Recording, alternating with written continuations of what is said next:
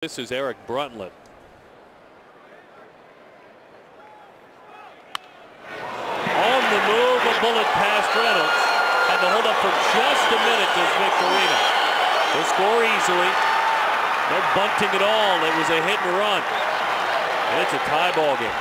On the pass ball, the free base run, it comes back to haunt the D-backs. One pitch later. Wow.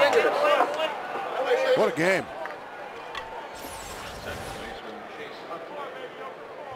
Look where Reynolds is playing, folks. Yeah, there you have it.